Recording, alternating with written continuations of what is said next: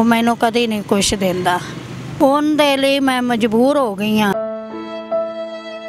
ਤੇ ਮੈਂ ਉਹਨੂੰ ਕਮਾ ਕੇ ਦੇਣਾ। ਮੇਰੀ ਹੈਗੀ ਹੈ ਦੂਜਾ 75 ਸਾਲ। 75 ਸਾਲ?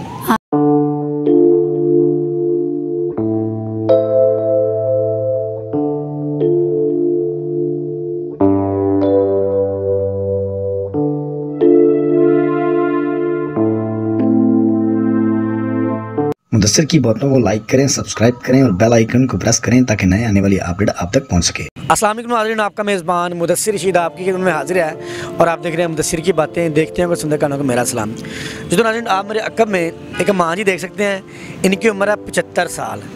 पचहत्तर साल माँ जी रोड के ऊपर बलून बेच रही हैं रात के। इनकी उम्र है घर में आराम करने की बेड रेस्ट करने की।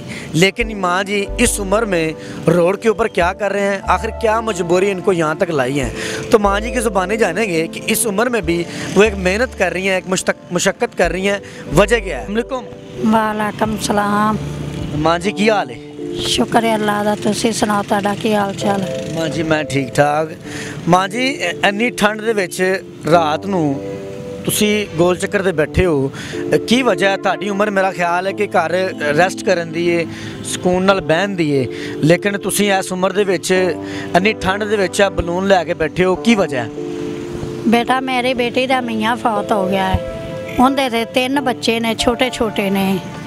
ਤੇ ਇਸ 2 ਤਰੀਕ ਨੂੰ ਚੱਲ ਗਿਆ ਵੀ ਏ। ਤੇ ਉਹਦੇ ਲਈ ਮੈਂ ਮਜਬੂਰ ਹੋ ਗਈ ਆ ਤੇ ਮੈਂ ਉਹਨੂੰ ਕਮਾ ਕੇ ਦੇਣਾ।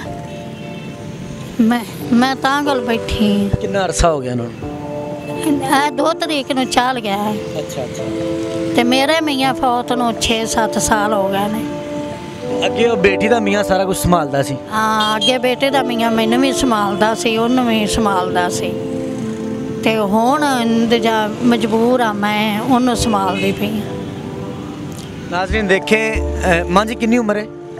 ਮੇਰੀ? ਤਕਰੀਬਨ ਮੇ- ਮੇਰੀ? ਮੇਰੀ ਹੈਗੀ ਹੈ ਦੂਜਾ 75 ਸਾਲ 75 ਸਾਲ ਹਾਂ ਕਾਰਡ ਦੇ ਉੱਤੇ नाजरीन देखें माँ जी की 75 साल उम्र है 75 और रोड पे ठंड के अंदर अपनी बेटी उनके जो मियाँ थे पहले वो संभालते थे। इनके मियाँ उससे पहले वो तो हो चुके हैं और माँ जी ठंड के अंदर बैठी हैं। इनकी उम्र घर में मैं कहता हूँ आराम करने की है सुकून करने की है। लेकिन क्या करें? हालात ऐसे हैं महँगाई इतनी है मजबूरियाँ हैं। माँ जी किन्ने किन्ने बेटी बेटा ने? मेरा एक बेटा है ते तीन बेटियाँ ने। तीनों बेटियाँ शादीशुदा ने?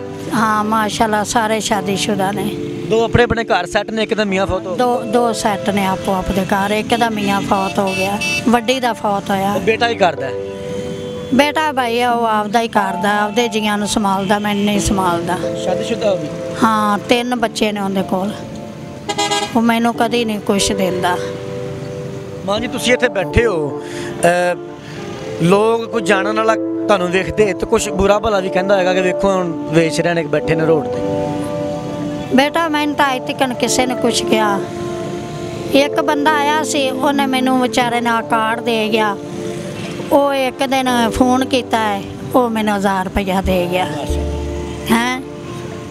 ਬਾਅਦ ਤੇ ਹੁਣ ਉਹਨੂੰ ਫੋਨ ਕੀਤਾ ਤੇ ਉਹਨੇ ਕਿਹਾ, ਨਹੀਂ, ਮੇਰਾ ਤਾਂ ਕੰਮ ਹੀ ਨਹੀਂ ਚੱਲਦਾ ਫਿਰ ਮੈਂ ਚਲੋ ਠੀਕ ਹੈ। ਚਲੋ ਜੀ, ਉਹਦੀ ਵੀ ਮਿਹਰਬਾਨੀ है कि ਤੁਹਾਨੂੰ ਇੱਕ ਦਿਨ ਦਿੱਤਾ। नादरीन देखें शख्स आते हैं माँ जी की मदद भी कर जाते हैं। माँ जी सफ़ेद पोश हैं। एक दिन दिया सी। एक दिन ही दिता सी। माँ जी सफ़ेद पोश हैं किसी के सामने हाथ नहीं फैलाते। मैं गुजर रहा था तो मैंने माँ जी से अर्ज़ की कि माँ जी अगर आप चाहें तो मैं आपका इंटरव्यू करूँ। हो सकता है कि ऐसा कोई वसीला बन जाए कि आपकी मदद हो जाए ज़्यादा नहीं तो आपका राशन हो जाए। अच्छा माँ जी बैठे हो ਤਕਲੀਫ ਨਹੀਂ ਹੁੰਦੀ ਠੰਡ ਇਹ ਸੋ ਮਾਮਲਾ। ਹੁੰਦੀ ਹੈ ਘੜ ਪਿੱਛੋਂ ਉੱਥੇ ਜਾ ਕੇ ਆ ਕੇ ਸੇਕੀ ਦੀਏ ਫਿਰ ਆ ਜੀ ਦੀ ਫਿਰ ਆ ਕੇ ਸੇਕੀ ਦੀ ਫਿਰ ਆ ਜੀ ਦਾ ਕੀ ਕਰੀਏ ਕਿੰਨੀ ਕੁ ਦੇਰ ਇਹਨਾਂ ਚੱਲੇਗਾ? ਹੁਣ ਕੀ ਸੋਚਿਆ ਕਿ ਇਹ ਕਰਨਾ ਤੇ ਬੇਟਾ ਫਿਰ ਮਜਬੂਰੀ ਤੌਰ ਇਹ ਹੀ ਕਰਨਾ ਹੋਰ ਕੀ ਕਰਨਾ। ਕਿ- ਕਿੰਨਾ ਕਮਾ ਲੈਂਦੇ ਹੋ ਡੇਲੀ? ਕੋਈ ਨਹੀਂ ਰਾਤੀ ਇੱਕ ਬਲੂਨ ਵੇਚ ਗਿਆ ਤੋ 300 ਰੁਪਇਆ ਦੇ ਗਿਆ। ਇੱਕ ਬਲੂਨ ਕਿੰਨੇ ਦਾ ਮੈਂ 200 ਦਾ ਦੇ ਆਂਦੀ ਸਾਂ।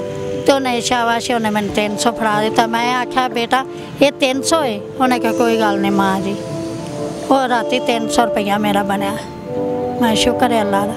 ਬਸ ਐ ਇੱਕ ਦਾ ਦੋ ਦੋ ਬਲੂਨ ਵੇਖ ਕੇ ਇੱਕ ਵੇਖ। ਇੰਨਾ ਹੀ ਵੇਖਦੇ ਨੇ। ਘਰ ਆਪਣਾ? ਨਹੀਂ। ਕਿੰਨਾ ਕਿਰਾਇਆ ਘਰ? ਦਾ ਘਰ ਦਾ ਕਿਰਾਇਆ ਨਹੀਂ ਹੈ ਵੈਸੇ ਇਹਨਾਂ ਮੈਨੂੰ ਮਦਦ ਦਿੱਤੀ ਬਾਇਆ ਹੈ। ਵੈਸੇ ਤੇ? ਹਾਂ ਤੇ ਮੈਂ ਦੂਸਰਾ ਰੋਟੀ ਹੋਟਲ ਤੋਂ ਹਾਂ ਪੱਕੀ ਪਕਾਈ।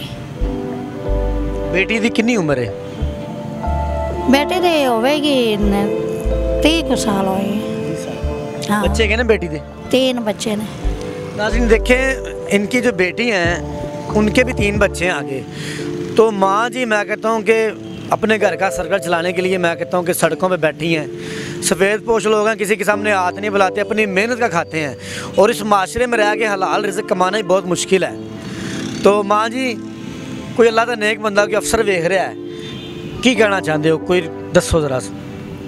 ਕਿਹਨੂੰ ਕਹਿਣਾ ਕੀ ਕੋਈ ਅਫਸਰ ਹੈ ਸਾਡੇ ਵੱਡੇ ਜਿਹੜੇ ਅੱਛੇ ਲੋਕ ਨੇ ਤੁਹਾਨੂੰ ਵੇਖ ਰਹੇ ਨੇ ਉਹਨਾਂ ਨੂੰ ਕੀ ਮਦਦ ਤੁਹਾਡੀ ਮਦਦ ਕੀ ਹੋਏ? ਤੇ ਦੱਸੋ ਕੋਈ ਮਦਦ ਕਰਨਾ ਮੇਰਾ ਦਿਲ ਕਰਦਾ ਮੈਂ ਕਦੀ ਨਹੀਂ ਕਿਸੇ ਕੋਲੋਂ ਮੰਗਿਆ। ਜਿਵੇਂ ਆਂਦੇ ਮੰਗਣ ਵਾਲੇ ਦਾ ਮੂੰਹ ਡਿੰਗਾ ਤੇ ਮਰਨ ਵਾਲੇ ਦਾ ਮੂੰਹ ਡਿੰਗਾ। ਮੈਂ ਨਹੀਂ ਕੋਈ ਸ਼ੈ ਮੰਗਦੀ ਜੋ ਉਹਦਾ ਦਿਲ ਕਰਦਾ ਦੇ ਜਾਏ। ਹਾਂ ਮੈਂ ਇੱਥੇ ਕਰ ਮੰਗਿਆ ਨਹੀਂ। नाजरीन, देखें सफ़ेद पोश है माँ जी। ये इंटरव्यू के लिए बहुत बड़ा कलेजा चाहिए, क्योंकि हमारी माएँ बजा हैं, हमारी भी माँ हैं। हमारी माएँ जो हैं मैं कहता हूँ कि घरों में बैठी हैं, लेकिन ये भी किसी की माँ है। बड़ा दुख होता है। लेकिन क्या करें, मजबूरी है, मजबूरी के तहत ठंड में माँ जी बैठी हैं। माँ जी की जो बेटी है, उनके हस्बैंड घर को चलाते थे, वो फोत हो गए हैं। ठीक है उनका भी अभी चलीसवें है तो मैं कहता हूँ कि एक दो बलून बेचती हैं, दो सौ रुपये का एक बलून है, दो बिके तो चार सौ का एक बिका है, लोग तीन सौ दे देते हैं, कभी दो सौ दे देता है। लोग कुछ अच्छे भी हैं, बुरे भी हैं तो माँ जी का नंबर स्क्रीन पर चल रहा है, खुदारा माँ जी की ना सपोर्ट करें, जो भी हो सकता है करें, इनको राशन लेके दे दें, किसी किस्म की भी आप हेल्प कर सकते हैं। तो मैं कहता हूँ कि ये नेकी कर दरिया में डाल तो इस दौर में नेकी करना ही सबसे बड़ा मुश्किल है। तो इसी के साथ अपने मेज़बान मुदसर को इजाज़त दें और देखते रहे मुदसर की बातें, देखते हैं को सुनते कानों को मेरा सलाम।